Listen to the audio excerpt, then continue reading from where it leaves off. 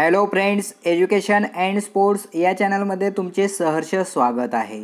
शिक्षक भरतीबाबत शालेय शिक्षण व क्रीडा विभाग महाराष्ट्र शासनाच्या वतीनं बारा जून दोन हजार एकोणवीस रोजी एक शासन निर्णय शुद्धीपत्रक जारी झालेलं आहे. याविषयी माहिती आजच्या या व्हिडिओमध्ये पाहणार आहोत. नेमकं काय आहे शुद्धीपत्रक आणि नव्याने कोणत्या प्रक्रियेचा समावेश झालेला आहे आणि काय बदल झालेला आहे या शुद्धीपत्रकाद्वारे आपल्याला लक्षात येणार आहे. त्यामुळे व्हिडिओ शेवटपर्यंत ऐकायला विसरू नका.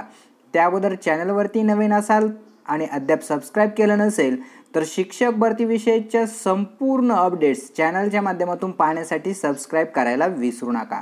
पाहूया शुद्धीपत्रक प्राथमिक उच्च प्राथमिक माध्यमिक व उच्च माध्यमिक विद्यालय कनिष्ठ महाविद्यालयामधील शिक्षकांची शैक्षणिक व व्यावसायिक अर्हता निश्चित करण्याबाबत महाराष्ट्र शासन शालेय शिक्षण व क्रीडा विभाग शासन शुद्धीपत्रक दिनांक बारा जून दोन हजार एकोणवीस. त्याचबरोबर संदर्भसुद्धा या ठिकाणी दिलेले आहेत पहा. सात दोन दोन हजार एकोणवीस पंचवीस दोन दोन हजार एकोणवीस सोळा पाच दोन हजार एकोणवीस तीन सहा दोन हजार एकोणवीस आणि सहा सहा दोन हजार एकोणवीस रोजीचं या ठिकाणी संदर्भ जे पत्र आहेत किंवा शासन निर्णय ते वाचायला विसरू नका. पाहूया शुद्धपत्र काय आहे ते. वाचा येथील शासन शुद्धपत्रक दिनांक पंचवीस दोन दोन हजार एकोणवीसमधील परिशिष्ट ब ते ड मध्ये पुढील प्रमाणे सुधारणा करण्यात येत आहे. ब ते ड मध्ये सुधारणा करण्यात आलेली आहे. ब मधील अनुक्रमांक चारमध्ये सुधारणा काय पहा. मा इयत्ता सहावी ते आठवीच्या शिक्षकांना शैक्षणिक व व्यावसायिक अर्हतेमधील मान्यताप्राप्त विद्यापीठाची गणित संख्याशास्त्र विषयातील पदवी ऐवजी मान्यताप्राप्त विद्यापीठाची गणित संख्याशास्त्र इलेक्ट्रॉनिक्स कॉम्प्युटर सायन्स माहिती तंत्रज्ञान विषयातील पदवी अशी सुधारणा करण्यात येत आहे. म्हणजे सहावी ते आठवी या विषयातील गणित विषय शिक्षकांसाठी या ठिकाणी गणित संख्याशास्त्र इलेक्ट्रॉनिक्स या विषयांचा समावेश करण्यात आलेला आहे. पाचमध्ये सुद्धा सुधारणा आहे. इयत्ता सहावी ते आठवीच्या शैक्षणिक व व्यावसायिक अर्हतेमधील मान्यताप्राप्त विद्यापीठाची भौतिकशास्त्र रसायनशास्त्र वनस्पतीशास्त्र प्राणीशास्त्र जीव विज्ञान पर्यावरणशास्त्रमधील पदवीऐवजी मान्यताप्राप्त विद्यापीठाची भौतिकशास्त्र रसायनशास्त्र वनस्पतीशास्त्र प्राणीशास्त्र जीवविज्ञान पर्यावरणशास्त्र सूक्ष्मजीवशास्त्र जैवतंत्रज्ञान जीवरसायनशास्त्र कृषीशास्त्र विषयातील पदवी अशी सुधारणा करण्यात आलेली आहे.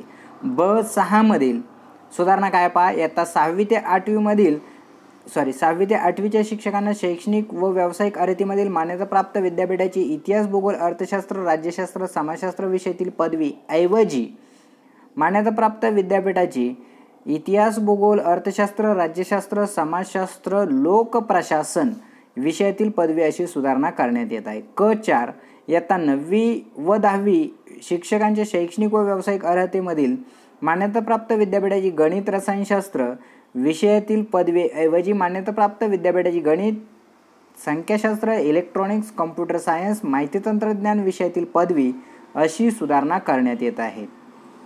क पाचमधील इयत्ता नववी दहावी शिक्षकांच्या शैक्षणिक व व्यावसायिक अर्हतेमधील मान्यताप्राप्त विद्यापीठाची भौतिकशास्त्र रसायनशास्त्र वनस्पतीशास्त्र प्राणीशास्त्र जीवविज्ञान पर्यावरणशास्त्र विषयातील पदवी ऐवजी मान्यताप्राप्त विद्यापीठाची भौतिकशास्त्र रसायनशास्त्र प्राणीशास्त्र जीवविज्ञान पर्यावरणशास्त्र सूक्ष्मजीवशास्त्र जैवतंत्रज्ञान जीवरसायनशास्त्र कृषीशास्त्र विषयातील पदवी अशी सुधारणा करण्यात येत आहे.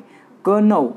इयत्ता नववी ते दहावी शिक्षकांच्या शैक्षणिक व व्यावसायिक अर्हतेमधील मान्यताप्राप्त विद्यापीठाची इतिहास भूगोल समाजशास्त्र राज्यशास्त्र अर्थशास्त्र विषयातील पदवी ऐवजी मान्यताप्राप्त विद्यापीठाची इतिहास भूगोल समाजशास्त्र राज्यशास्त्र अर्थशास्त्र लोकप्रशासन विषयातील पदवी अशी सुधारणा करण्यात येत आहे.